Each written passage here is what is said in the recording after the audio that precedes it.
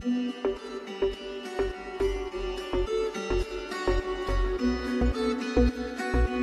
call him Argo.